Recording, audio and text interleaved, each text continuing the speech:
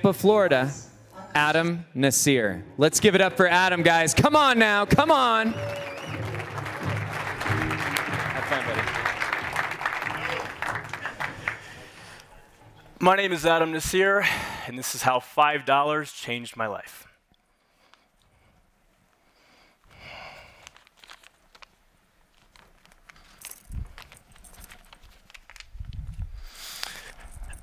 So, uh, this is a story about two years ago.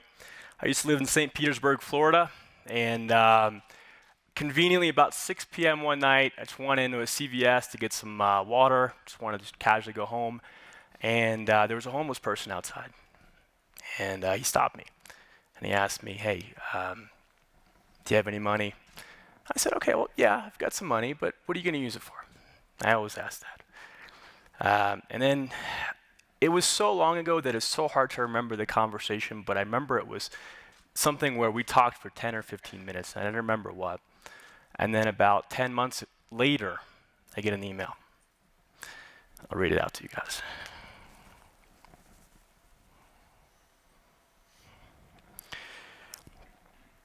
This was sent to me on 12618. Um, Good morning, Adam. It is finally upon me the moment of my life where I have the opportunity to contact the one person that made such a profound impact to my life as it is today. I feel new, rejuvenated, and totally fresh. This is where you begin to wonder who I am and what this email is all about. Let me share uh, this with you. I am James Brown. You probably do not remember our first and only meeting. It was a bit plain and quite non-discrepant, but life-changing for me. You were at a CVS location in downtown St. Petersburg, sitting in your car, and I was nearby, standing and somewhat remote, but lost. You took the time to ask me about myself, to offer encouragement, and a little conversation. You also gave me $5, and you knew I was destitute and probably hurting. That night was difficult for me, but your kindness gave me pause and belief in something other than what I faced each moment those days my terrible existence, pitiful addiction, the and the disruptive behaviors that plagued my life. You, Adam, are a, remarkable, a remarkable man.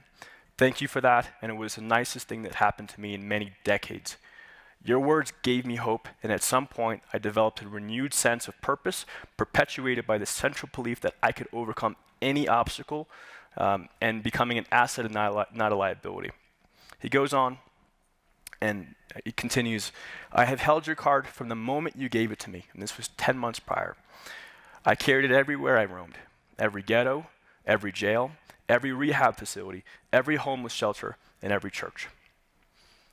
I never forgot you, and I thought you, I would wait until I did a little work on myself before making an attempt to locate you and say thank you. And I have been sober now for five months. I, seem to remember telling you I played chess, and you asked me to show you the game one day.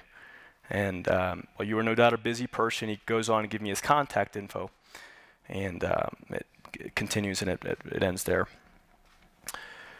I opened that email and uh, seeing something that special, I knew I had to reach out to this man. I gave him $5. But more importantly, I gave him my time.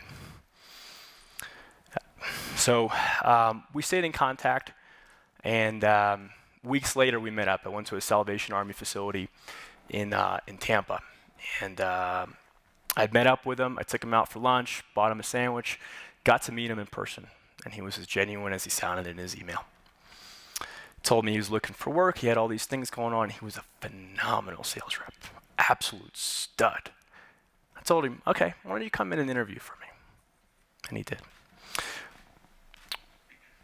When I dropped him off that day, he was very nice, said thank you, didn't ask for anything, but he gave me $5 back and he kept it. I don't think it was the same $5 though. um, so the story goes on, and um, he ends up working for me, and uh, I hired him for my company. And I passed him off to a colleague. It was, it was, a business that I transitioned. I passed him off to a colleague, and he went from no money, homeless, stealing, broke, now makes over $80,000 a year.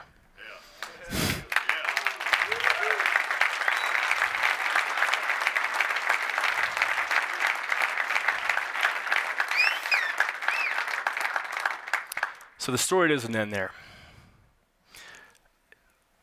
I changed James' life.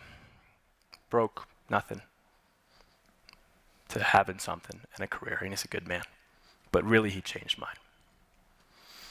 I came to America with the American dream. Came here in 1996 from Morocco. My mom, and I was just a little kid. I was eight years old. And all I wanted to do was become successful and take care of my family. Um, had an unbelievably horrible childhood that I wouldn't wish on my worst enemy. Stepdad, between the ages of 18, 8 to 18, that I lived with, was unbelievably psychological toxic. And for at those formative years, it's, it's poison. But I'm a victor, not a victim. So, what I'm trying to say is I developed unbelievable strength in that experience, and I use it for something positive. And I poured all that pain, all that energy, all that as an entrepreneur into my business, into myself, into my systems, my processes. Last three years, I don't go out. I don't, I don't BS.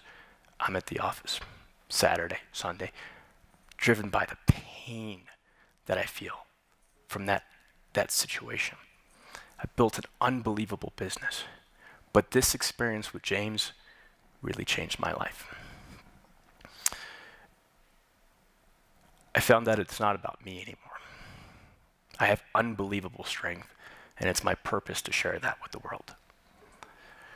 Um, so um, now I am a full-time real estate investor, and I now coach um, intermediate and high uh, level investors as well to pursue my passion of what I am and what I do.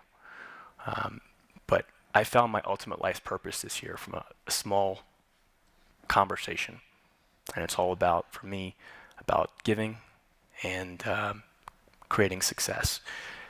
This year, as I told you, I had a bad uh, relationship with my stepfather. I carried a last name, and last name is Jordan, and that was my last name to my adopted stepdad.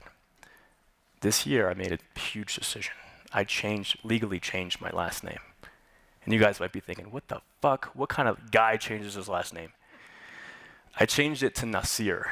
Nasir in Arabic means the eagle. It's my symbolic uh, animal.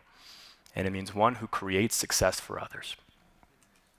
And I changed that after that interaction with James.